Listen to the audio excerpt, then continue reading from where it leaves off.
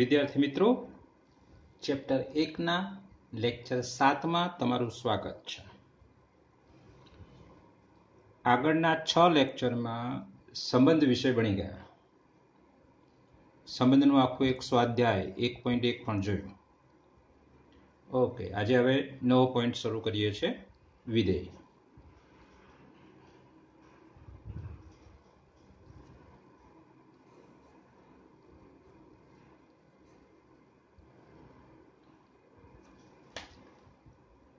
સૌપ્રથમ વિધેયની વ્યાખ્યા જોઈએ આપણે. વ્યાખ્યા શું હતી તે ધારો કે એફ એ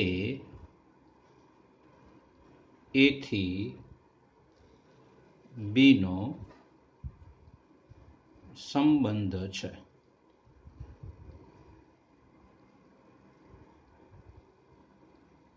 જો એફ દ્વારા એના પ્રત્યેક ઘટકને સંગત બીમાં અનન્ય પ્રતિબિંબ મળે તો એફને એથી બીનું વિધેય કહે છે. આ એની વ્યાખ્યા છે. એફ દ્વારા એના પ્રત્યેક ઘટકને સંગત બીમાં અનન્ય પ્રતિબિંબ મળે તો એફને એથી બીનું વિધેય કહેવાય છે. ઓકે મેં અહીંયા કેટલાક સંબંધો આપ્યા છે. R one R two R three R four R five અને આર સિક્સ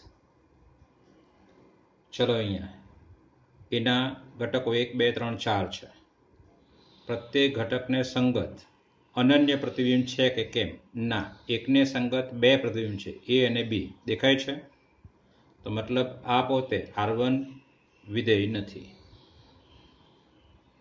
આર ટુમાં જો એકને સંગત પ્રતિબિંબ એ છે, બેને સંગત ડી, ત્રણને સંગત સી અને ચારને સંગત બી. મતલબ પ્રત્યેક ઘટકને સંગત અનન્ય પ્રતિબિંબ છે, એટલે આ વિધેય છે. આર ટુ સંબંધ જે છે વિધેય છે. ઓકે આર થ્રી જો એકને સંગત સી પ્રતિબિંબ, બેને સંગત સી પ્રતિબિંબ, ત્રણને સંગત સી, ચારને સંગત સી પ્રતિબિંબ. આ પણ વિધેય છે. કારણ અહીંયા પ્રત્યેક ઘટકને સંગત અનન્ય પ્રતિબિંબ છે. એકને કેટલા પ્રતિબિંબ? એક જ. કયું સી પોતે? બીજું કોઈ પ્રતિબિંબ નથી ને? બેને પણ એક જ પ્રતિબિંબ છે. કયું સી? એક જ પ્રતિબિંબ છે ને બેને? દરેક ઘટકને એક જ પ્રતિબિંબ છે. અહીંયા ભૂલ ન થાય ખાસ. એકને કેટલા પ્રતિબિંબ છે? સી એક જ, બીજું કોઈ પ્રતિબિંબ નથી. એટલે અન્ય, અનન્ય પ્રતિબિંબ છે. એટલે આર થ્રી પણ વિધેય છે. આર ફોર વિધેય નથી. કારણ અહીંયા એમાં ચાર છે. આ ઘટક નામનો, ચાર નામનો ઘટક છે. પરંતુ એને કોઈ પ્રતિબિંબ છે નહીં. ચાર સાથે કોઈ અહીંયા પ્રતિબિંબ સંકળાતું નથી. એટલે આર ફોર વિધેય નથી. આર ફાઇવમાં પણ ચાર અહીંયા સંકળાયો નથી. એટલે આર ફાઇવ પણ વિધેય નથી. આર સિક્સ આર સિક્સ પણ વિધેય નથી. જુઓ કેમ, એકને ત્રણ પ્રતિબિંબ છે. એકને સંગત એ એકને સંગત બી એકને સંગત સી એટલે એ પણ પ્રતિબિંબ સોરી આર સિક્સ પણ વિધેય નથી. તો હવે જે વિધેય છે, એ વિધેય લખી દઈએ. એક આર ટુ અને આર થ્રી વિધેય છે. અને વિધેય માટેનો સંકેત આપણે એફ રાખ્યો છે. તો આપણે એફ ટુ અને એફ થ્રી લખીશું. ઓકે એફ ટુ બરાબર શું? તો તમે કહી શકશો કે ભાઈ એકને સંગત એ છે, બેને સંગત ડી ત્રણને સંગત સી અને ચારને સંગત બી છે. પછી એફ થ્રી જુઓ. એફ થ્રી બરાબર. તો એકને સંગત સી, બેને સંગત સી, ત્રણને સંગત સી, ચારને સંગત સી.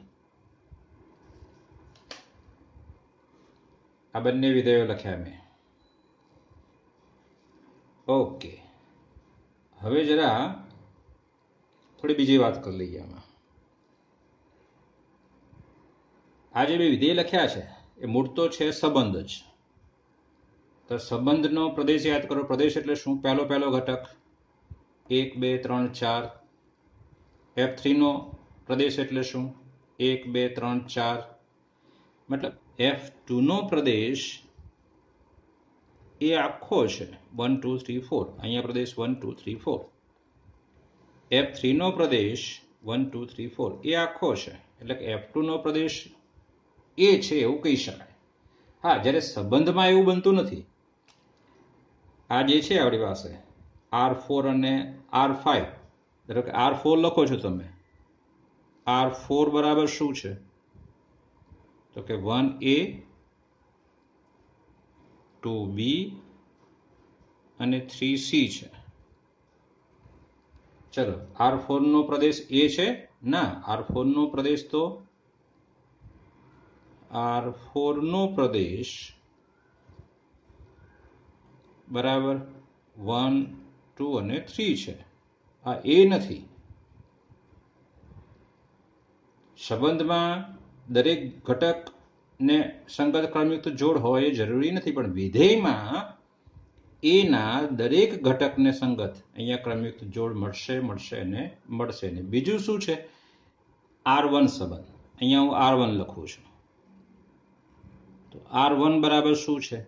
તો એકને સંગત એ છે, એકને સંગત બી છે. જેટલા જેટલાથી નીકળ્યા છે બધા લખવાના છે.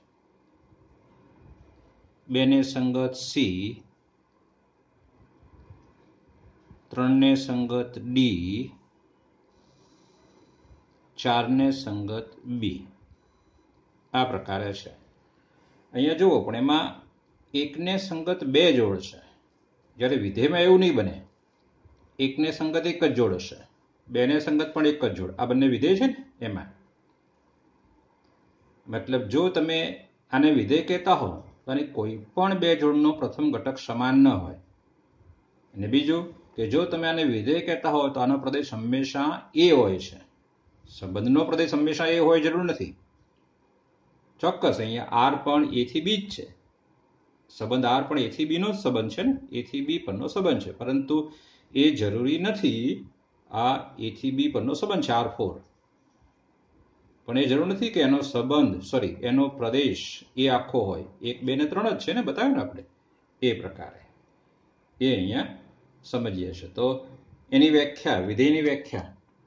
તમે આમ પણ લખી શકો ફરીથી કે ધારો કે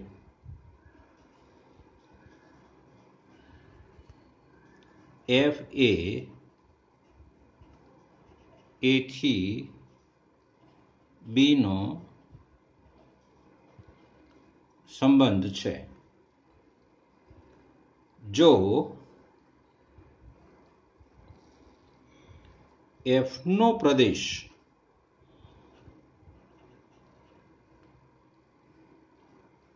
એ હોય તથા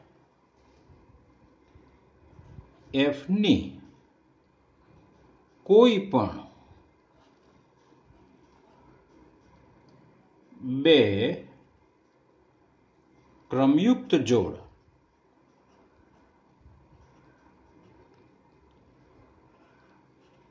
નો પ્રથમ ઘટક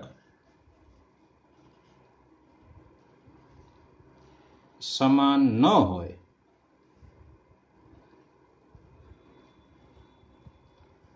તો એફને એથી બીનું વિધેય કહે છે. આમ પણ કહી શકાય આપણે. બીજી એક વાત કરી લઈએ કે જો ક્રમયુક્ત જોડ A B belongs to F હોય તો તમે આને માટે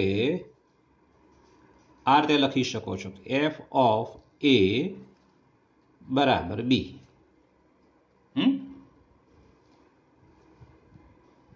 જેમ કે આપણી માટે એફ ટુ વિધેય છે અહીંયા.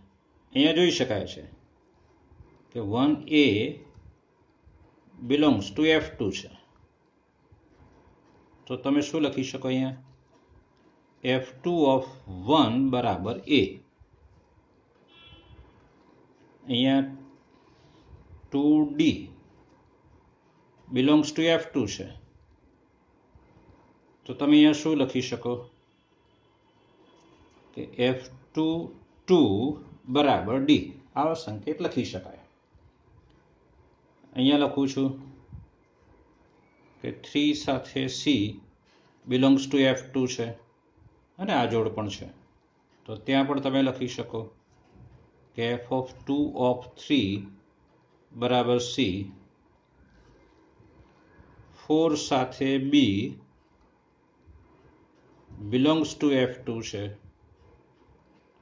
તો ત્યાં તમે F of two of four બરાબર બી લખી શકો હા ને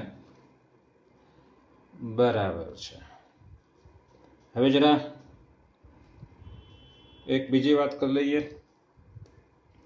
પ્રદેશ સંબંધ અને વિસ્તારની યાદ હોય તો.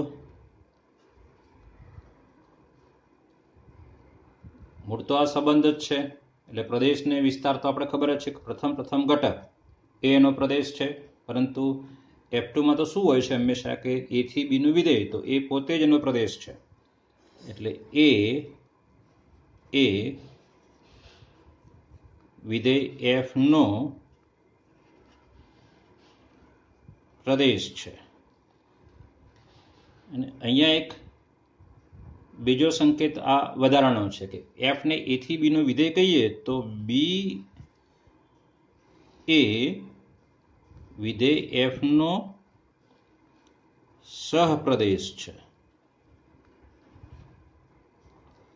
પ્રદેશ માટેનો અંગ્રેજી શબ્દ ડોમેન છે. ડોમેઇન તો એને ટૂંકમાં આપણે ડી ઓફ એફ લખવાનો છે આ રીતે. અને સહપ્રદેશનો અંગ્રેજી શબ્દ કોડોમેન છે. કોડોમેન તો એને ટૂંકમાં સીડી ઓફ એફ લખવાનો છે. બીજી વાત જરા યાદ કરો વિસ્તાર માટે. એને પ્રદેશ બીને સહપ્રદેશ. તો હવે વિસ્તાર. એટલે શું હતું? તો કે આ પાછળ પાછળના જે ઘટક છે, તે એના વિસ્તારમાં આવે છે ને? મતલબ એફ ટુનો વિસ્તાર લખીએ તો આ A D A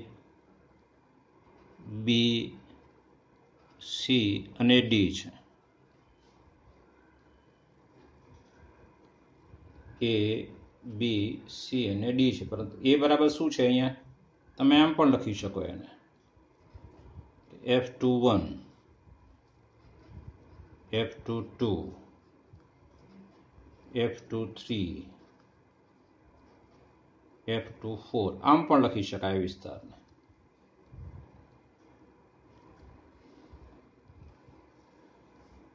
અને એને બીજી રીતે લખવો હોય જો આગળ, તો એને આમ પણ લખી શકાશે કે બરાબર એફ ઓફ એક્સ નો ગણ જ્યાં એક્સ બિલોંગ્સ ટુ એ બરાબર જુઓ. આ વન ટુ થ્રી ફોર એ શેમાંથી આવ્યા છે. એમાંથી જ આવે છે ને ભાઈ? તો ત્યાં અમે વન ટુ થ્રી ફોરની જગ્યાએ એક્સ લખ્યો. એફ ઓફ એક્સ અને એક્સ તમારે ક્યાંથી લેવાનો છે? એમાંથી. એટલે આમ પણ વિસ્તાર. આ રીતે પણ એનો વિસ્તાર લખી શકાય. ચલો એક બીજી વાત. આપણે કહ્યું અહીંયા? કે એફ ઓફ વન બરાબર એ તો અહીંયા એને એકનું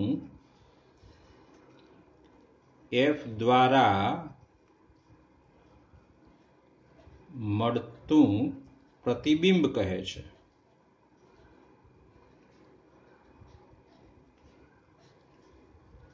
એ શું છે? એકનું પ્રતિબિંબ કોના દ્વારા મળે છે? એફ દ્વારા. અને એકને એનું એફ દ્વારા મળતું પૂર્વ પ્રતિબિંબ પૂર્વ પ્રતિબિંબ પૂર્વ પ્રતિબિંબ કહે છે. એ જરા યાદ રાખવાનું છે.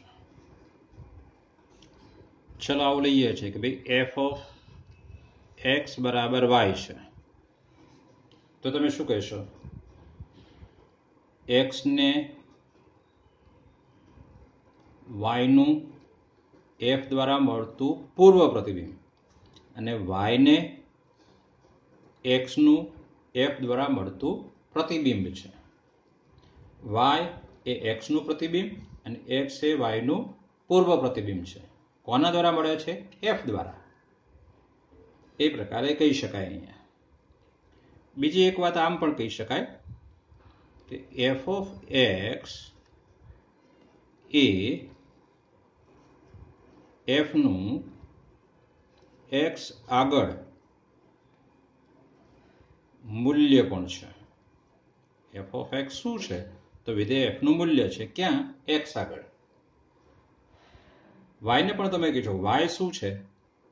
તો વિધેય વાય એ એફનું એક્સ આગળ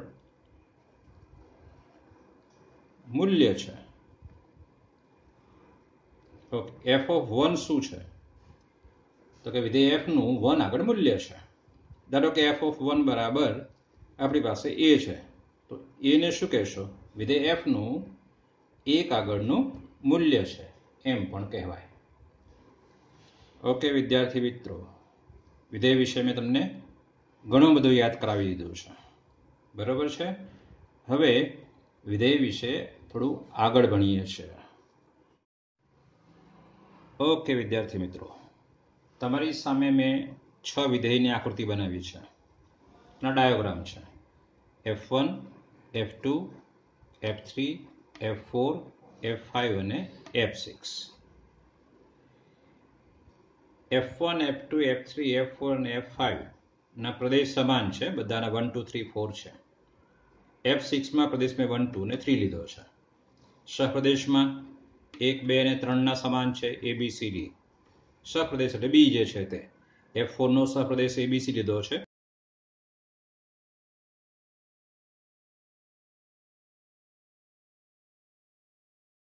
બધા વિધેયો છે.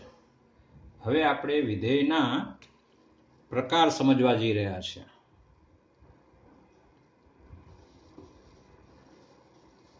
વિધેયના પ્રકાર.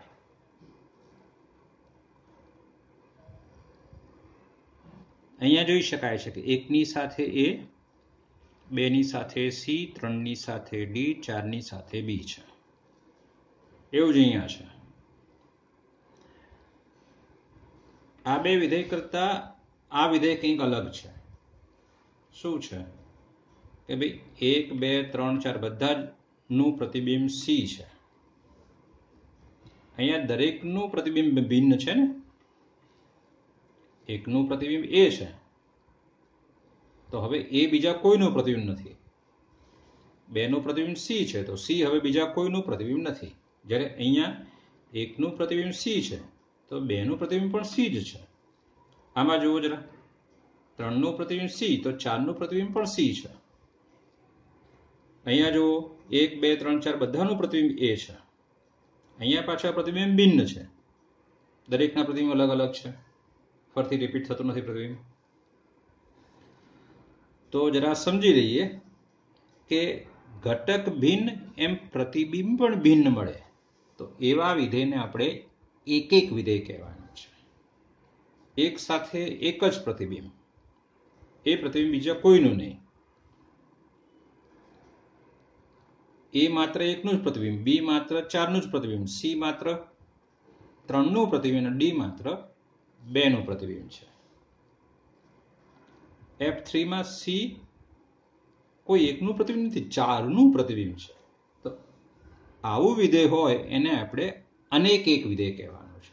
આ એક સાથે એક જ જોડાય, એટલે આને એક એક, આ અનેક સાથે એક જોડાય છે, એટલે માટે આને અનેક એક.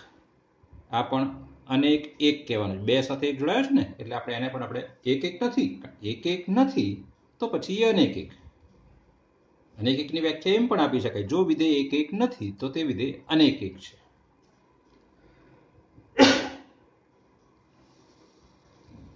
આપીએ છીએ વ્યાખ્યા આપણે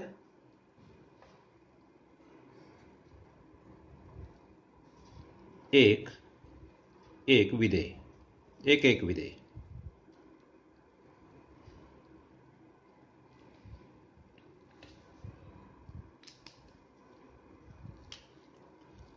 ધારો કે F from A to B વિધેય છે. પહેલા તો એ વિધેય હોવું જોઈએ પછી એમાં એક એકની વાત કરવાની છે.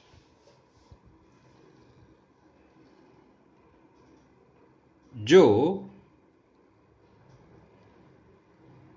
X one not equal to X two મતલબ બે ભિન્ન ઘટક હોય, તો એના પ્રતિબિંબ પણ ભિન્ન મળે.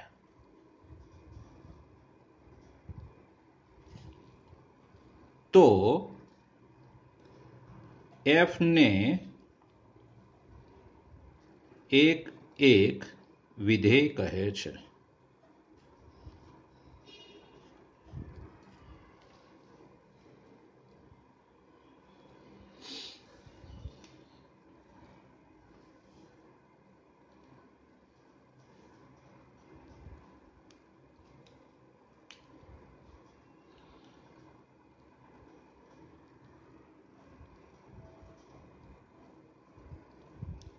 અનેક એક વિધેય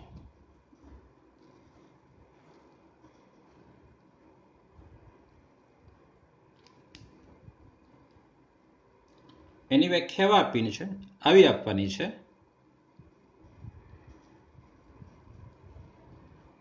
એક એક ન હોય તેવા વિધેયને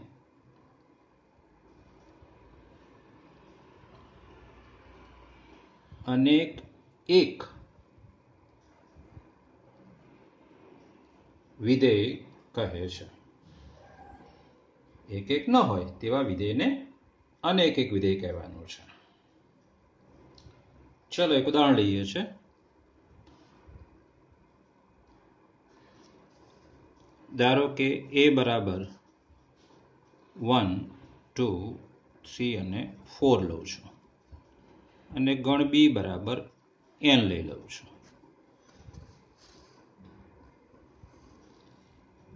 એક વિધેય લઉં છું. F from A to B એનું સૂત્ર આપું છું. એફ ઓફ એક્સ બરાબર એક્સ પ્લસ ટુ.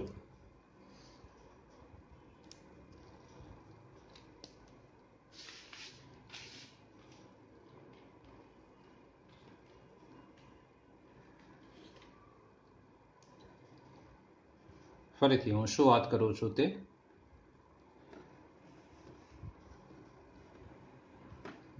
અહીંયા આપણે ગણ એ લઈએ છે. એમાં છે વન ટુ થ્રી અને ફોર છે. અહીંયા હું ગણ બી લઉં છું. એમાં છે one, two, three, four five six અને અનંત સુધી આવશે. આ બી છે, કારણ કે બી બરાબર એન છે. ઓકે, હવે આ વિધેય એફ ઓફ એક્સ બરાબર એક્સ પ્લસ ટુ છે. એને હું અહીંયા બતાવું છું. ગણની રીતે અથવા આપણા સંબંધી રીતે. ચલો એક્સ બરાબર હું વન લઉં છું, પહેલો ઘટક વન તો એફ ઓફ એક્સ મને શું મળશે? મતલબ વન પ્લસ ટુ એટલે થ્રી મળશે. બે લઉં છું, અહીંયા એક્સની જગ્યાએ બે મૂકું છું. તો ચારની જોડ, બે ચારની જોડ. ત્રણ લઉં છું, તો ત્રણને બે. પાંચ પછી ચાર લઉં છું તો ચાર સાથે છ અને સંબંધ પૂરો, વિધેય પૂરું થશે આપણી પાસે. આ વિધેય છે. અહીંયા ગોઠવીએ તો એકની સાથે ત્રણ, આ રીતે. બેની સાથે ચાર, ત્રણની સાથે પાંચ અને ચારની સાથે છ. જો સ્પષ્ટ દેખાય છે આપણને કે આ વિધેય કેવું છે? એક એક, કારણ કે ભિન્ન ઘટક તો પ્રતિબિંબ પણ ભિન્ન છે. એટલે આ એક એક વિધેયનું ઉદાહરણ છે. એક, અનેક એકનું ઉદાહરણ લઈએ આપણે. ચલો, એક, અનેક એકનું ઉદાહરણ લઈએ.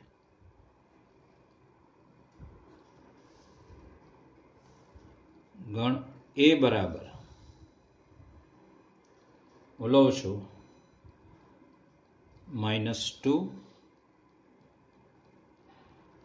minus one zero, plus one અને પ્લસ ટુ. ગણ બી બરાબર લઉં છું એન. વિધેય વ્યાખ્યાયિત કરું છું F from A to B અને એનું સૂત્ર આપું છું એફ ઓફ એક્સ બરાબર એક્સ સ્ક્વેર. ચલો, આને જોઈએ છે આપણે. હું એ લઉં છું.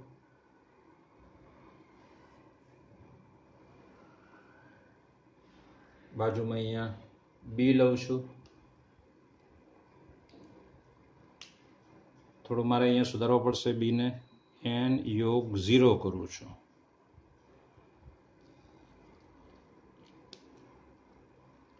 ઓકે. આ એ ગણ છે અને આ બી છે. એમાં શું છે?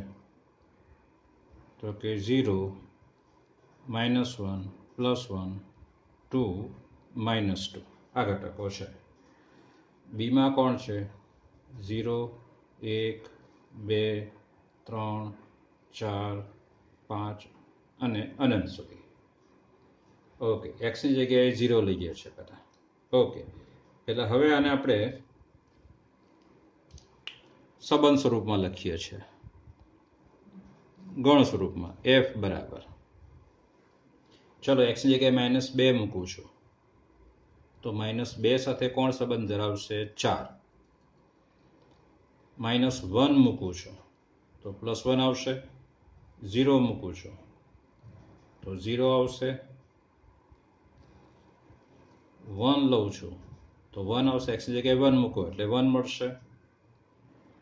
એક્સની જગ્યાએ ટુ મૂકો તો ફોર મળશે અને સંબંધ પૂરો થશે. હવે આપણે અહીંયા જોડીએ. એના. માઇનસ બે સાથે ચાર. માઇનસ બે સાથે ચાર. માઇનસ એક સાથે એક. માઇનસ એક સાથે એક. ઝીરો સાથે ઝીરો ઝીરો સાથે ઝીરો વન સાથે વન વન સાથે વન ટુ સાથે ફોર, ટુ સાથે ફોર. અહીંયા જોઈ શકાય છે કે માઇનસ વન અને પ્લસ વન બે ભિન્ન છે, પરંતુ એના પ્રતિબિંબ સમાન છે. મતલબ આ એક એક વિધેય નથી. એક એક ક્યારે કહેવાય કે જ્યારે કોઈ પણ બે ભિન્ન ઘટકોના પ્રતિબિંબ પણ ભિન્ન હોય, તો એ એક એક વિધેય કહેવાય. તમને પાછું મનમાં એવું ના થવું છે કે શૂન્ય અને માઇનસ વન તો ભિન્ન છે અને એના પ્રતિબિંબ ભિન્ન છે. માત્ર બે ઘટક નહીં, જેટલા પણ ઘટકો છે ભિન્ન ઘટકો, એ બધા જ ભિન્ન ઘટકો માટે ફોર એવરી અહીંયા ઉમેરીએ છે. For every X one X two X one not equal to X two હોય, અને એના જો પ્રતિબિંબ ભિન્ન મળે તો વિધેય એક એક છે, નહીં તો પછી અનેક એક છે. અનેક એક કેમ ખબર પડશે? અહીંયા માઇનસ વન અને વન છે. એ બંને સમાન નથી. પરંતુ એફ ઓફ માઇનસ વન અને એફ ઓફ વન સમાન છે. એટલે વિધેય એક એક નથી ને એક એક નથી તો વિધેય કેવું છે? અનેક એક. ઓકે બાકીનું આવતા લેક્ચરમાં